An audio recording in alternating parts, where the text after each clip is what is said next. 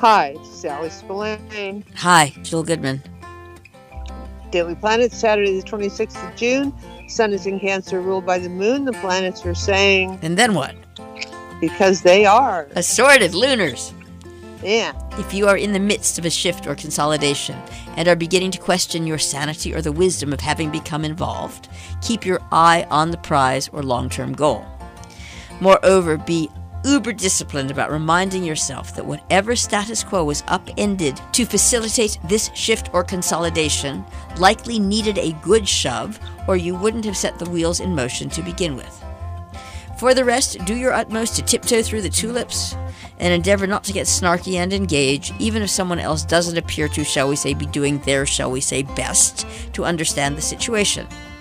These planets are highly invested in raising the sensitivity level, whilst simultaneously lowering the threshold for taking or giving offense or making it personal, or better yet, grudge-worthy.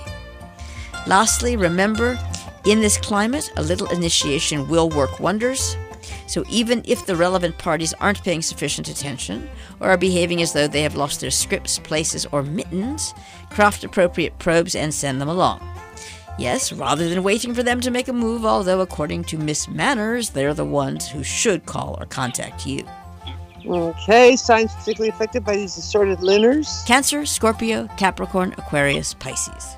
And if one's birthday, 26th of June. Should you intend to be a worthy advocate of your creative and romantic objectives, first you will need to identify them and then give yourself permission to pursue them. This shouldn't be too hard to accomplish, especially if you shift the focus from what others are doing with their time and energy, how they are conducting themselves, and whether you deem it acceptable to your part in things.